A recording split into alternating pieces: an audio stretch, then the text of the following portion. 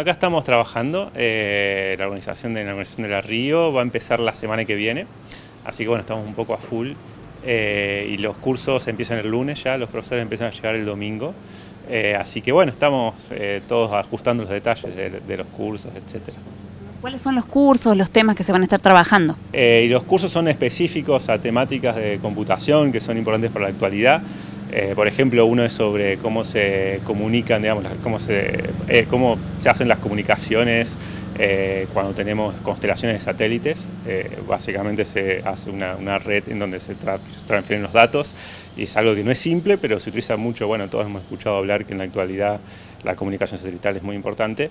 después hay otro curso que es sobre sistemas concurrentes. Los sistemas concurrentes son comunes en la actualidad, aunque no todos sepamos, eh, pero por ejemplo cuando uno usa una computadora lo que pasa es que hay muchos procesos, muchos eh, programas corriendo al mismo tiempo y eso es eh, computación, digamos, que se llama concurrente y, sobre ese tipo de sistemas es muy difícil razonar, entonces bueno, este curso provee toda la teoría y la práctica de este tipo de, de software. ¿no? Y el otro curso es, sobre sistemas que usan probabilidades, que si bien uno por ahí lo escucha dice para qué puede llegar a servir, eh, se utiliza muchísimo en, inteligencia artificial en este momento. Eh, bueno, ese curso va, a hablar un poco de eso. ¿Los docentes de qué lugares son?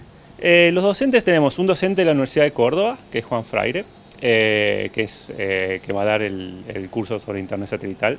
Y tenemos dos docentes, uno que es de la Universidad de Twente, de Holanda, eh, que él va a dar el curso sobre sistemas probabilísticos. Y tenemos un docente alemán de la Universidad de Aachen, eh, que va a dar el otro curso de sistemas concurrentes. O sea que tenemos dos, dos eh, uno holandés, uno alemán y un cordobés.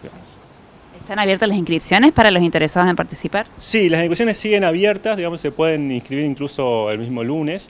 Igual recomendamos a todos que entren a la página web y se inscriban lo antes posible. La página web, la digo de vuelta, es dc.exa.unrc.edu.ar barra río. Ahí encuentran toda la información de la escuela y hay un formulario en el cual se pueden registrar.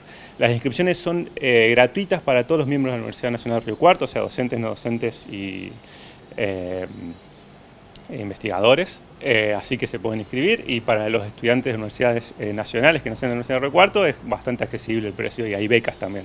Así que bueno, les eh, sugerimos que visiten la página para más información y que si se quieren inscribir, que se inscriban. ¿no?